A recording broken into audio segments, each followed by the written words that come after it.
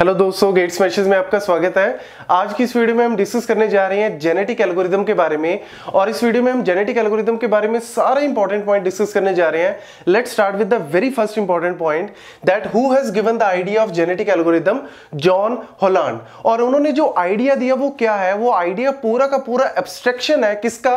Real biological evolution का। मतलब जो हम बायोलॉजी में पढ़ते हैं study of genes study of chromosomes कैसे दो पेरेंट मिलके एक न्यू चाइल्ड जो है वो क्रिएट करते हैं, एक न्यू चाइल्ड पैदा करते हैं और अपना बेस्ट जो है वो पास करते हैं टू द नेक्स्ट जनरेशन अब वो जो नई जनरेशन है, वो आगे मेट करेगी और वो आगे एक और बेस्ट सोल्यूशन जो है वो पैदा करने की कोशिश करेगी। तो ये हो क्या रहा है? जीन्स जो है, वो बेस्ट जीन्स जो है, वो ट्रेवल हो रहे हैं नेक्स्ट टू नेक्स्ट जनरेशन में। इसी पॉइंट के ऊपर बेस्ड है ये जेनेटिक एल्गोरिदम जो हम यूज़ करते हैं आर्टिफिशियल इंटेलिजेंस मशीन लर्निंग्स में, जहाँ पे हम क्या बात कर रहे हैं कि हमारे पास ऑलरेडी बहुत सारे सोल्यूशन प्रेजेंट है, लेकिन उन सारे सोल्यूशन में से हमने हमने optimal solution best solution find out करना है। बेस्ट सोल्यूशन को पैदा करना है। वो कैसे होगा? जब दो पेरेंट मिलके एक चाइल्ड को जनरेट करते हैं, हो सकता ऑब्वियसली उस चाइल्ड में पेरेंट के तो गुण आ ही गए और एक्स्ट्रा भी गुण उसमें आएँगे। अब वो जो वो एक नेक्स्ट जनरेशन को पैदा करेगा तो ऑब्वियसली उसमें और ज़्यादा जो स्पेशल गुण आएँगे।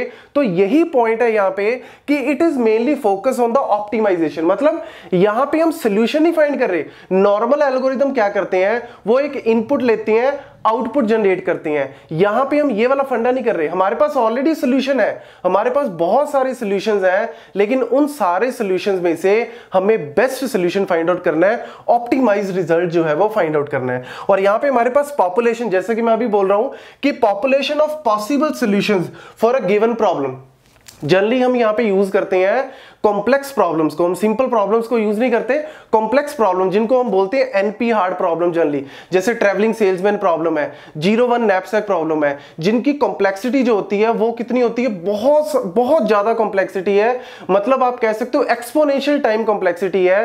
तो उनके लिए प्रॉपर एल्गोरिदम जो है, वो नॉर्मल एल्गोरिदम काम नहीं करते। तो उनके लिए हम यूज़ करते हैं जेनेटिक एल्गोरिदम जहाँ पे हमारे पास सर्च स्पेस बहुत ज़्यादा है। मतलब उसको बोल रहे हैं पॉपुलेशन तो पॉपुलेशन बहुत ज़्यादा है और और उस पॉपुलेशन में से, उन गिवन पॉपुलेशन में से हमें बेस्ट सोल्यूशन जो है वो फाइंड आउट करना है। यही मेन जो फंडा है किसका? जेनेटिक एल्गोरिदम का। और यही हमारा जो बायोलॉजिकल सिस्टम है, वो भी सेम यही काम कर रहा है। उसी आइडिया के ऊपर जो है वो पूरा का पूरा जेनेटिक एल्गोरिदम बेस्ड है। देन नेक्स्ट पॉइंट है हमारे पास from a group of individual the best will survive यही जैसे हम बायोलॉजिकल उसमें बोलते हैं कि इंडिविजुअल का यहाँ पे मतलब है क्रोमोसोम्स जो क्रोमोसोम्स बेस्ट होंगे, वही फिट करेंगे। क्यों? क्योंकि सर्वाइवल ऑफ़ फिटेस्ट थ्योरी जो है, आपने पढ़ी होगी डार्विन ने दी थी, कि जो फिट है मतलब जो हमारे पास हज़ारों जीन्स जो है, वो ट्रेवल करते हैं, लेकिन जो बिल्कुल, जो मोस्ट फिट है, वही आगे जाके जनरेशन में ट्रांसफ़र होता है। तो वही जो पॉइंट है, वही हम यहाँ पे यूज़ कर रहे हैं किसके अंदर? जेनेटिक एल्गोरिदम्स के अंदर। इससे होगा क्या? हमारा जो रिज़ल्ट है, वो ऑप्टिमाइज होता रहेगा। एवरी जनरेशन में हमारा रिज़ल्ट और ऑप्टिमाइज और ऑप्टिमाइज और ऑप्टिमाइज होता रहेगा। यही पूरी की पूरी कहानी है किसकी? जेनेटिक एल्गोरिदम की। और यहाँ पर हम बहुत सारी टर्मिनोलॉजी को यूज़ करते हैं। वही जैसे जीन्स है क्रोमोसोम्स है, उसके अलावा अगर हम यहाँ पे बात करें, जो टेक्निकल टर्म हम यहाँ पे यूज़ करते हैं as a computer science people तो ये जो दो टर्म्स हैं, बहुत सारी यूज़ होती हैं। That is phenotype and genotype phenotype का मतलब है आपके पास जो सर्च स्पेस जो सोल्यूशन स्पेस अवेलेबल है रियल लाइफ वर्ल्ड में, जिसका मतलब क्या है कि प्रॉपरली कोई रिटर्न में एक रिप्रेजेंटेशन नहीं है। लेकिन जब भी हम एल्गोरिदम को कोई इनपुट देते हैं, उसको इनपुट देने से पहले हमें प्रॉपर उसको एक रिप्रेजेंट करना पड़ता है, उसको हम बोलते हैं जीनोटाइप मतलब जब वही रिज़ल्ट जब वही पूरा का पूरा सोल्यूशन स्पेस जब कंप्यूटेशन में आ जाता है, जब हम उसको सॉल्व करते हैं, उसको बोलते हैं हम जीनोटाइप दोनों चीज़ें हैं सेम ही, लेकिन हम क्या बोल रहे हैं? फिनोटाइप एक रॉ डेटा एक रो सोल्यूशन है। उस रो सोल्यूशन को हम एनकोड कर रहे हैं जीनोटाइप में। मतलब जैसे हम रिप्रेजेंट करते हैं इंटीजर में रिप्रेजेंट करना डेसिमल में रिप्रेजेंट करना रियल नंबर में रिप्रेजेंट करना तो इस रिप्रेजेंटेशन को हम बोलते हैं बेसिकली जीनोटाइप, जिससे होता क्या है, जो हमारा एल्गोरिदम है, वो प्रॉपरली वर्क करता है। क्योंकि अगर हम जितनी फाइन इनपुट देंगे, उतना ही फाइन आउटपुट आएगा। अगर हमारी इनपुट ही नॉइसी होगी तो ऑब्वियसली हमारा जो आउटपुट होगा, वो ऑप्टिमाइज नहीं आएगा। तो ये बेसिक फंडा है जेनेटिक एल्गोरिदम का। और यहाँ पे अगर हम बात करें, सबसे पहले हमारे पास क्या है? इनिशियल पॉपुलेशन जैसा कि मैंने अभी बताया कि हमारे पास सोल्यूशंस जो है ऑलरेडी अवेलेबल है। जैसे ट्रेवलिंग सेल्समैन प्रॉब्लम है। तो ट्रेवलिंग सेलमैन प्रॉब्लम की हमारे पास ऑलरेडी सारे सोल्यूशंस अवेलेबल है, जिसको हम बोलते हैं इनिशियल पॉपुलेशन और इनिशियल पॉपुलेशन में जेनेटिक एल्गोरिदम में सबसे इंपॉर्टेंट चीज़ क्या है? डाइवर्सिटी डाइवर्सिटी का मतलब है कि आपका एक पॉइंट के ऊपर या दो पॉइंट के ऊपर फोकस ना हो, आपकी पॉपुलेशन डाइवर्स हो. जैसे कि हम बात करते हैं अगर एग्जिट पोल में. एग्जिट पोल में अगर वो एक पर्टिकुलर एज ग्रुप को फोकस करेंगे तो उनका जो सोल्यूशन है वो प्रॉपरली नहीं आएगा.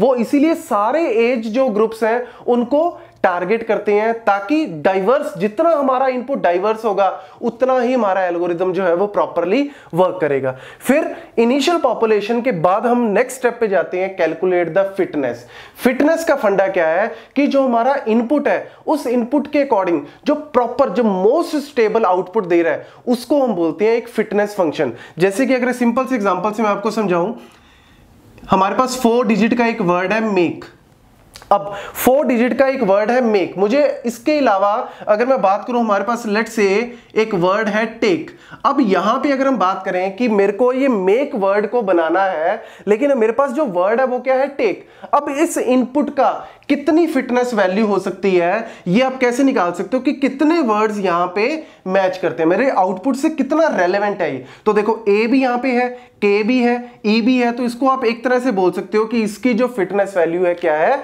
थ्री ये अलग अलग मेथड्स हैं फाइंड आउट करने के, लेकिन अगर आपको एक मेथड भी आपके माइंड में आ गया तो आपको पता लग जाएगा कि कैसे कैलकुलेट करते हैं फिटनेस का। ऐसी अगर हम बात करें लेट से एक और वर्ड है मेरे पास ए बी सी डी अब ए बी सी डी में देखो ए यहाँ पे है है। बी यहाँ पे है, नहीं है. सी है, नहीं है. डी है, नहीं है. तो इसकी फिटनेस वैल्यू क्या हो गई?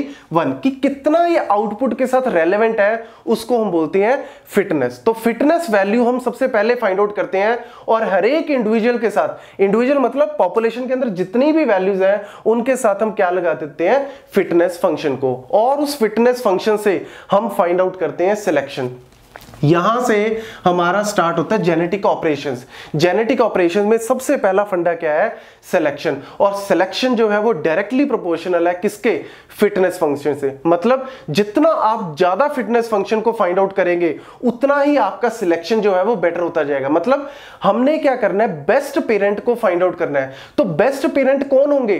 जिनका फिटनेस वैल्यू सबसे ज़्यादा होगा। अब मैं ऑब्वियसली इसको कंसीडर नहीं करूँगा इन द सिलेक्शन मैं इसको कंसीडर करूँगा टेक को। इसके अलावा क्या हो सकता है? लेट से केक तो ऑब्वियसली मैं केक में भी क्या है? देखो वन टू थ्री तीन वर्ड्स मैच करें तो इसका भी फिटनेस क्या हो गया? थ्री तो ऑब्वियसली मैं उन सारे वर्ड्स को, उन सारी वैल्यूज़ को सिलेक्ट करूँगा जिनकी फिटनेस वैल्यू क्या है? हाईएस्ट है। और इसमें हम जनरली दो पेरेंट को सिलेक्ट करते हैं और उनके थ्रू हम एक नई पॉपुलेशन बनाने की कोशिश करते हैं by using the method of crossover and mutation crossover and mutation जो है, ये दोनों ही बहुत ही इंपॉर्टेंट जो है स्टेप्स है यहाँ पे, क्योंकि क्रॉस ओवर का फंडा क्या है? There are various methods of doing the crossover जैसे कि हमारे पास एक मेथड है वन पॉइंट वन पॉइंट का मतलब है लेट से अगर हमारे पास वर्ड है ए बी सी डी ई और दूसरे पेरेंट में है लेट से ई एफ़ जी एच आई तो होता है क्या वन पॉइंट में हम एक रेंडमली कोई भी पॉइंट ले लेते हैं लेट से हमारा रेंडमली पॉइंट है